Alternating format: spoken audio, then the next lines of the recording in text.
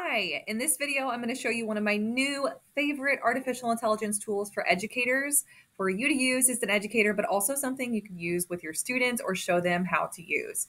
And this tool is called Goblin Tools, which is kind of a funny name. But this tool is a, I'm on the web version right now, which is my personal favorite. But if you want to have some consistency across devices, there are apps that are available for Goblin Tools, but they do come with a little bit of a price tag.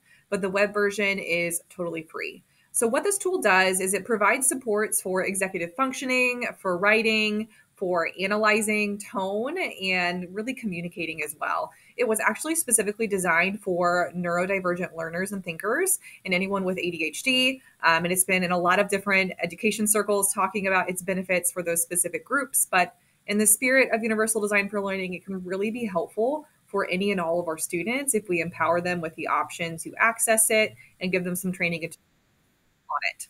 So uh, here I am on the website, and there are really six different tools built into this one web tool. My personal favorite is this Magic To Do. So, what this does is it basically will take a whole list of things that you have to do and break them or chunk them into smaller tasks. So, if you've ever felt overwhelmed by all the things you need to do, or you just have a lot going on, bigger projects, and you just want to have it all on here and then have it really think through what to target first and how much time it might take, this is the tool for you.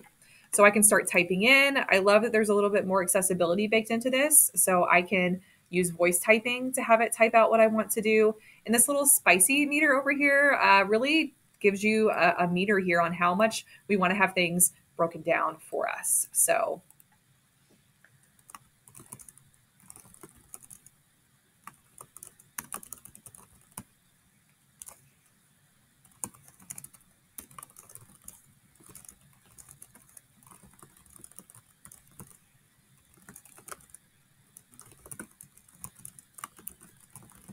All right, so I can type in all of those different things.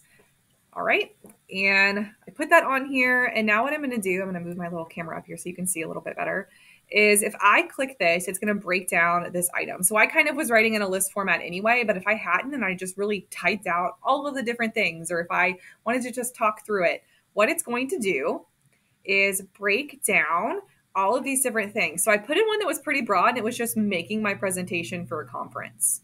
All right. So it really talks me through all of these different steps. And if I want it to be not as many steps here, if that's too overwhelming for me, I can change this little spicy meter up here. Um, but right here, I can do, I can edit this. I can add even more subtasks. I can remove it if I don't feel like it's necessary, if I've already done it. I can click this to cross things off.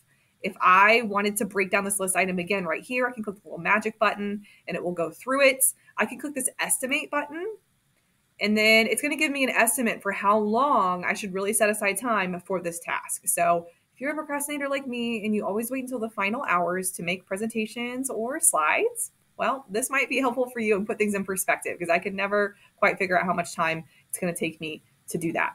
Okay. So what's cool with this sync button is this, if you actually start to use the applications and you can connect this across your profile and have it sync as you complete things and pull up your phone if you're not always in front of your computer. If I click this button right here, I can also save some files and upload my checklist items if I would like. Okay. So that's one way that you can use this. So if I wanted, I can copy and paste this. I can just pin this tab to keep it open while I work through these different things. So that's the magic to do feature of Goblin Tools. The other ones that are on here that are super professional and helpful is this formalizer tool. So this is really helpful for writing uh, and kind of changing your tone when you write. So what this does is if you are writing out some questions or maybe emails or communication, whether it's in your newsletters or something, um, or just responding. I, if I think of students, maybe they're trying to create a message in Canvas to their teacher to ask some questions. They can type out what they're thinking, and then it will convert it into maybe a more professional format.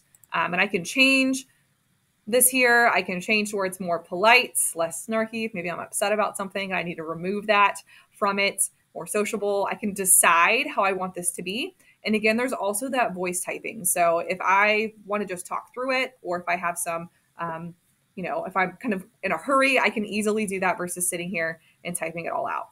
The judge, what this will do is help students understand the tone of a message that they're either writing or what someone else has said. So this is really helpful for some of our neurodivergent students who maybe need a little bit more support in this area. Or if I'm a teacher, maybe I'm being unclear and my student wants to double check on what I'm trying to tell them. This is a great way for them to do that and vice versa. So again, you can record the voice here, record the, record the voice note, type with your voice, or you can type it out and then it will judge and try to help you as well as like the replies that go along in that conversation thread. So super helpful in that sense. The estimator, we kind of saw that baked into the Magic To Do, but this will give you a time estimate on different to do list items you might have or tasks you need to do during the day. Really helpful if I'm thinking of students during guided resource or study hall and they have a bunch of different assignments they need to do and need to prioritize them, maybe getting some of those faster ones done first. They can type those in here and kind of give them some direction for their time.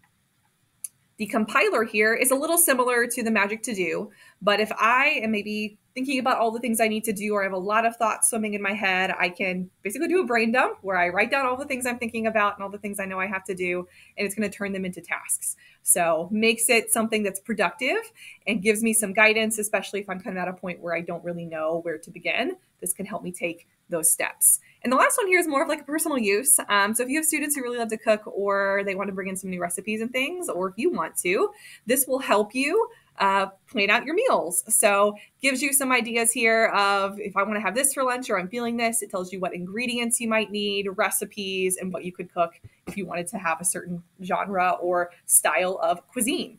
So that is Goblin Tools. It is totally free to use. If you keep the tab up, even if I navigated to those different ones, it remembers my work. Um, in this button here, I can clear this. You know, I have even more features and options available. So love this tool. I would love to hear how you're using it. And I hope that you find it to be helpful for both your personal use as well as your students.